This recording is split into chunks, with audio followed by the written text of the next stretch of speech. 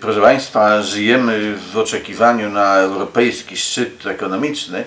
Y, Ma tu przyjechać 900 jakichś filutów, y, lichwiarzy, grandziarzy wytwornych takich, luksusowe panie, no i oczywiście różni prezydenci, którzy tam też się tak szwędają za, jak smród za parowozem, za takimi filutami. Y, No i z tej y, przyczyny mają być tu y, ogromne ograniczenia nałożone na mieszkańców Warszawy. Warto przypomnieć, że ostatni raz y, takie ograniczenia były nałożone 5 października 1939 roku, kiedy do Warszawy y, przybył y, w celu odebrania defilady wojsk niemieckich y, kanclerz Adolf Hitler.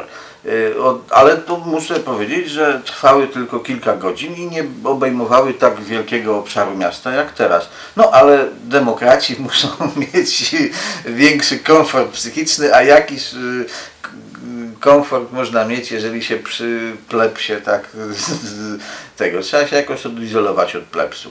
Y, Proszę Państwa, odpór tym filutom mają dać antyglobaliści. No i w związku z tym e, muszę się odnieść do jednego z wystąpień antyglobalistycznych, mianowicie jeden z tych antyglobalistów wyraża taki żal, rozżalony jest i bardzo mnie skrytykował w internecie, że nazwałem ich zasrańcami. E, Rzeczywiście tak zrobiłem. W felietonie drukowanym w bezpłatnym tygodniku poznańskim, z którym e, regularnie współpracuję, mam zaszczyt współpracować, ale nie cofam tego, bo to nie jest epitet, wbrew temu, co e, ten człowiek mówi, że jest to epitet, to nie jest epitet, to jest określenie ścisłe. Dlatego jest ścisłe, ponieważ ci antyglobaliści mają wyjątkową e, skłonność do niezauważania rzeczy oczywistych. E, Twierdzą, że protestują w imię wolności, e, natomiast tę sytuację, z jaką mamy do czynienia w Polsce, w innych krajach, nazywają neoliberalizmem. E, Proszę Państwa, no wszystko mogę zrozumieć, tylko jednego nie mogę zrozumieć. Inne, że pan Piotr Ikonowicz też tak to nazywa, ale to on to ma takie amplua, to ja jego wyłączam oczywiście z, z tego określenia, bo on to jest co innego. On po prostu wie jak jest, ale no musi tak mówić, bo inaczej właśnie zasrańcy za nim nie szli. To jest jasne.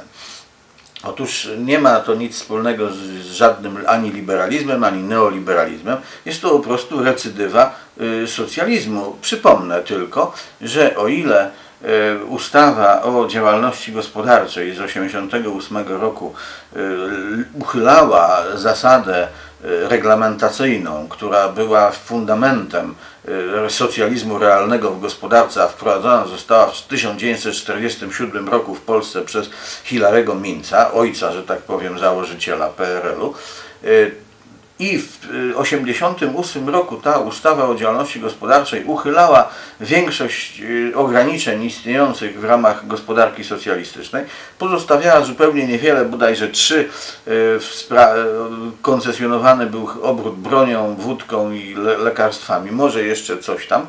Y, To już 10 lat później, w 1999 roku, y, koncesje, licencje, zezwolenia i pozwolenia obejmowały 202 obszary działalności gospodarczej w Polsce. Podobnie się dzieje w innych krajach.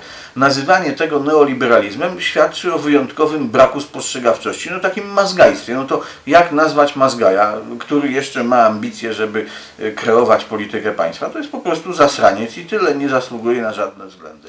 Warto też zwrócić uwagę, że na remedium, jakie proponują antyglobaliści, na to, co nazywają neoliberalizmem, a co, jak już wiemy, jest po prostu recydywą socjalizmu, tylko trochę w innych, zmienionych dekoracjach. Otóż wys- twierdzą, że występują w imię wolności, a remedium widzą w zwiększeniu, rozszerzeniu uprawnień państwa w dziedzinie gospodarczej. Pan Ikonowicz, kiedy mm, przemawiał podczas debaty w Kolegium Civitas, y, po- postulował nawet, żeby nałożyć podatek akcyzowy na, reklamę żeby ograniczyć reklamę, bo reklama zmusza nas, jak twierdził, do picia Coca-Coli. No, nie wiem, czy reklama nas zmusza do picia Coca-Coli. Na razie nie ma ustawowego obowiązku, no na przykład nie piję Coca-Coli, bo wolę winko albo nawet mocniejsze y, trunki. W związku z tym no, nie ma przymusu. Jak ktoś nie chce Coca-Coli pić, to nie musi pić nawet, mimo ogromnych tam podobno pieniędzy wydawanych na reklamę.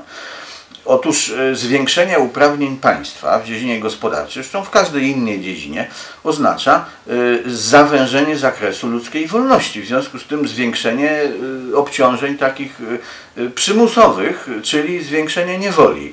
Krótko mówiąc, antyglobaliści nie są wcale szermierzami wolności, za jakich próbują się uważać, są po prostu rzecznikami niewolnictwa, zniewolenia i czarny sztandar anarchii, którym czasami się jeszcze posługują, rzeczywiście czerwieni się ze wstydu, kiedy to widzi.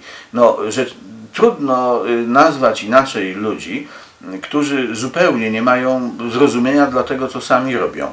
I y, y, są oni nie tylko durniami, ale w dodatku durniami niebezpiecznymi, ponieważ spełnienie ich postulatów Y, wpędziłoby nas w jeszcze gorszą niewolę niż y, jesteśmy aktualnie, a teraz też y, jesteśmy w cęgach reżimu. Proszę Państwa, teraz chcę coś powiedzieć na koniec na ich usprawiedliwienie tych ludzi, bo oni są żałośni, rzeczywiście są żałośni zasrańcy, ale no, nie, nie tylko oni są temu winni.